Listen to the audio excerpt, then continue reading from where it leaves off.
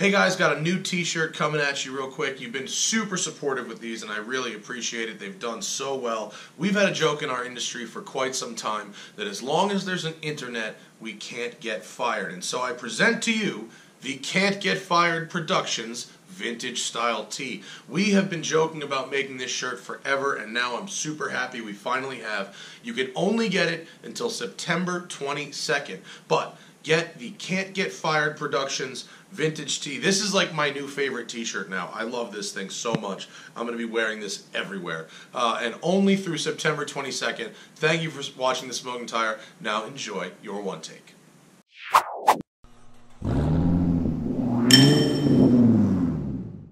Morning, everybody. Welcome uh, to the Angeles Forest. This should be special. Not only is this uh, a beautiful uh, Dodge Coronet 566. 66, yeah. Uh, but uh, this is uh, Alex, and thank you for joining me, No, sir. thank you for having me. Alex has really put some custom touches into this car that you just some of my favorite types of touches that you don't notice at first, but they're really uh, they're really there and they're really interesting. So tell me everything about this Coronet. Uh, well, I just uh, got it from a buddy of mine who had parked it for 10 years back in 2013. Mm-hmm. Started putting it back together. Got lucky two years ago. Kind of. They totaled my truck and dropped the five seven Hemi from that thing in here. And So modern a modern five seven Hemi from Yeah. a Ram, yeah. uh, and then you've got a four-speed gearbox. Yeah, it's an A833. It's an overdrive unit, though. It's from the mid 70s. with a pistol grip shifter. Yeah, had to go with the pistol grip. Yeah, and then and then in here, there's a lot of details. These seats are not original. No, no. They're What are these from? Um, just got them off of Summit, off uh, They're Pro really- Cars. They're actually yeah. really comfortable. Yeah, they are. Good, good was- lateral bolstering. Yeah, I was pleasantly surprised when I ordered them. And then you've got uh, actually keyless go. Yes. Push button start. Yes. And uh, and uh, remote controlled roll up windows. So I'm just gonna Yep. fire this thing up. Nice and smooth. Yeah. Sounds great. Uh, these gauges, you say you made this gauge cluster? Yeah, I made the gauge cluster because originally these things had like the uh, rectangular uh, gauges. Oh, the horizontal. yeah, one? and then uh, because I was the stuff I was doing, I wanted them. I wanted to go electrical gauges, Mhm. but then after sourcing out the pricing, I was like, you know, what, I'm just better off getting new gauges. So that's when I decided to get a new cluster, cut it out, and Oh, set in all great. the the new uh, plates and stuff for it. That's awesome. And the parking brake is on, yes? So Yes. gonna- okay, pull that. There you go. And then you've got a tablet down here, which is for your EFI. Yeah, it uh, basically monitors whatever systems EFI is uh, tapped into. All right. Let's go for a drive. So, boy, is that that is some shifter throw, isn't it? Yeah. And okay, the clutch take up is pretty high, but easy, communicative. Yeah. Oh, oh no. uh oh. No, just go ahead and hold the just hold the button until it clicks. Start it. Oh. My bad. Yeah. All right. Until Round get- two. Try it again. This time with more room.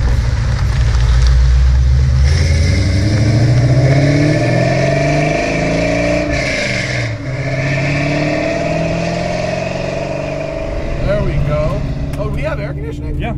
Oh, let me close the windows. I didn't realize we had AC. Oh, yeah. Oh, yeah, buddy. Listen to that. Is that okay? The the the one the shifter's a little vague. Yeah. That's uh. But then again, you know, it's uh. It's a 66. Yeah. Well, Oh, mid 70s, you said, yeah. right? It's still it's running the external linkage and stuff on it. Uh, I try to remove as much slop of it out of it as possible, but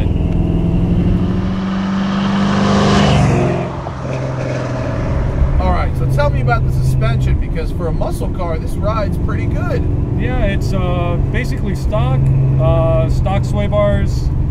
The rear leaves, uh, I upped the uh, spring rate a little bit. Uh huh. And then the shocks are the Hotchkis Fox shocks, and it's got sway bars front and rear. Okay. Oh, brake pedal is not bad for a muscle car.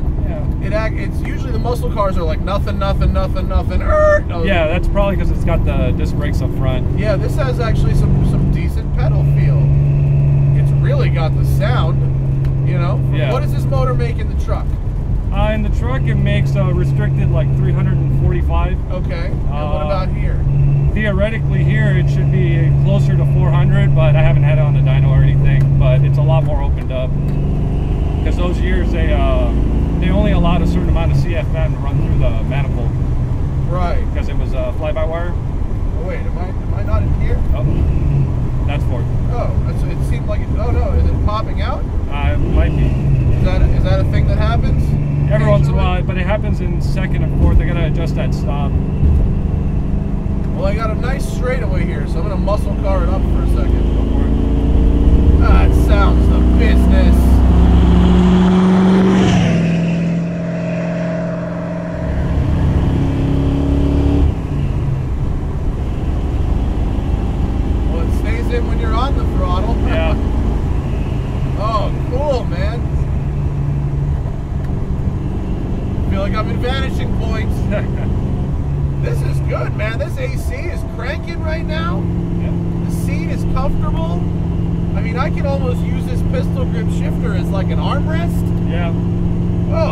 Cool. How long did it take you to do all this? Uh, to get it to where it's at, it took me about uh, two and a half, three years. Really? But it, it had gone through a bunch of different variations in between that time. Oh, what a cool car this is. I understand this 100%. Very, very uh, wandery at the front, but that's sort of what Yeah. that's sort of what a, a car from the 60s is, right? Yeah, it's still running a steering box. I mean, I try to get it as tightened up as possible, but No, for for uh, a build that isn't like a full-on pro touring, Yeah. you know, it, it's that's sort of just how they are. I mean, it's not. Pick your muscle car from the '60s; it steers just like this. yeah. No, this thing But it's got the look, it's got the sound.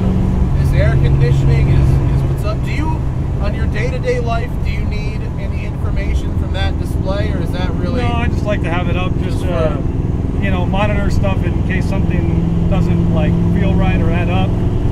Take a glance and just see if you know. I'm, it's basically uh, what is it?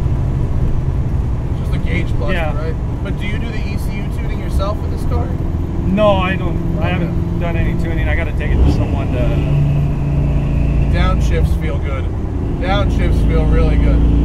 I'm worried the levers, like gravity, is going to pull it out of gear, though. Yeah, no, it just it holds though. This is a perfect road for this. Yeah. This is what you want. Not too tight. You're able to just cruise.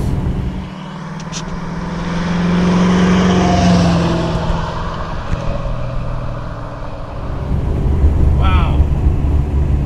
What do you drive every day? Not this. Uh, it's a mix between this and my uh, 2013 uh, Ram, but I prefer this one. Are you diehard Mopar? No, I love them all. All right. So you, it's a it's a coincidence that you took Yeah. two Dodges and turned them into one Dodge, and you have another Dodge. Pretty much, yeah. Okay. Wow. I have a soft cool. spot for B bodies, but you know. Now that I feel like I'm used to it, I'm gonna flip around and get on the pedal a bit. This is There you go. good. What a great cruiser, man! And especially because you've got. Is this like a vintage air? yeah, it's vintage air. God, man! Every time you know, I see the commercials for vintage Yeah. air, and you hear them talking about it at Mecum or whatever. Yeah, And uh, oh wow, second gear is Yeah. short, huh? yeah, it is. Okay, just learned that one. And uh, and I've always wondered if it, if if that vintage air stuff actually works as good as uh, you know they say it does. But I mean, based on your car, hell yeah, it does. It's really good. Yeah, no, it works great. Um, the only thing I had to do to it was actually put a switch to actually turn the AC on or off. But other than that, you know, and then these dummy buttons up here. Oh yes. You're right with the second and third gear spacing. Before we got in the car, Alex was telling me that with his overdrive transmission, the spacing between second and third is a little off. Yeah, So even if you run out second pretty hard, it still bogs third just a bit. yeah. That's interesting, yeah.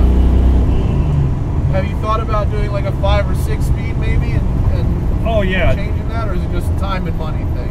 No, well, uh, a little bit of both, but I'm trying to find the right one where I don't have to hack up the floor as much. Ah. You know, trying to fit it in the stock location.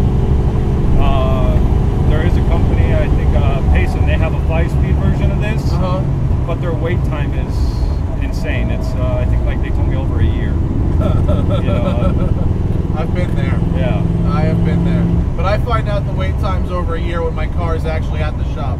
Oh, yeah. Luckily, I was Dude. pricing it out when I uh, found out. Yeah, yeah. This is such a nice cruiser. I I get it hundred percent. Yeah. I'm totally with you. and that's the purpose. That's the reason why I built it the way I did. Was it's not supposed to be a race car. It's just supposed to be enjoyable. No. You can take it long, short drives. Doesn't matter. How does it? I mean, right now we're cruising. Well, I, I guess I don't want to. Uh, we're doing 72 Yeah. at 2600 RPM. That's not so bad. No. How many miles were on this motor when your when your truck got totaled?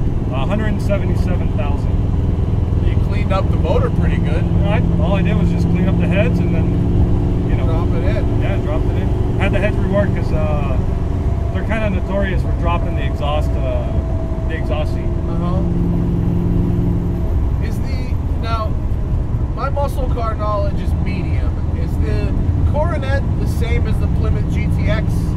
Yeah, it's the It same the right? GTX, the Is that, a, satellite, is that a B body? Yeah, B body. It's a B body, Yeah. right? Okay. and the underpinnings on the 66. I, I'm pretty sure all the way up to 70 are very similar. There's So almost very what engine change. did this come with originally? This one actually had a 318 Poly Okay. with a automatic transmission. When I got it, it had a 360 Magnum with a 727 Okay. and uh, eight and three quarters uh, diff. But the guy had my uh, buddy had set it up with drag racing, so he had 411s out back. Oh, so it was probably impossible to drive. Yeah, it was a nightmare. I, 411 sounded a good idea until you actually drive a car with 411s. yeah, doing 40, it sounded like I was, you know, hitting the home stretch on the corner, down the going down the street. So what is it now? Uh, now it's 355s. Yeah, that's uh, right. So it's a lot, you know, a lot tamer. Yeah, the shift throw is about 18 inches, but Yeah. but it, it, it takes you back. It gets you uh, it gets you in period, as it were. Yeah. It sounds right. I'll give you it sounds right. And it's actually got pretty good throttle response too when you go to flip it. Yeah. And I know I'm leaving a lot on the table right now, just For power? Yeah, there's a lot being left on the table on it because it.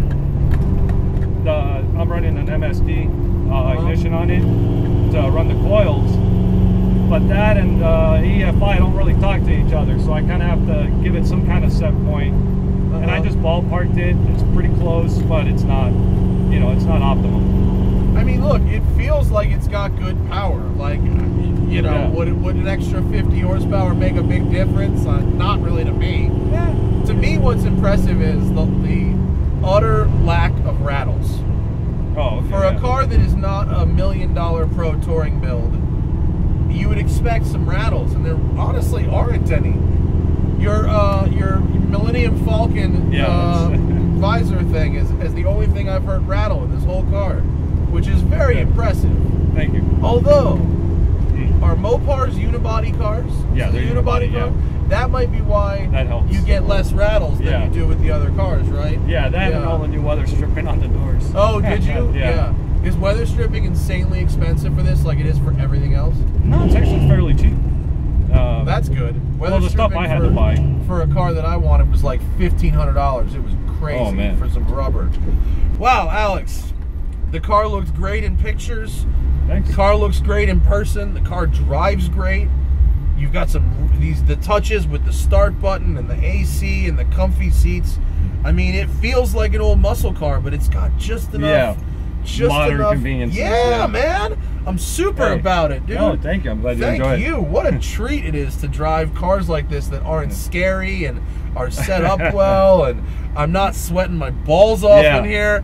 That What was a- the other thing. I wanted to make sure. Oh, what a AC delight! worked, What a delight! I mean, because it gets hot out here. This Yeah, can be it brutal. It really can. Yeah, it does. Thank you so much. Uh, I really appreciate you coming out. No. Thank you guys for watching. I hope you enjoyed that, and we'll see you later.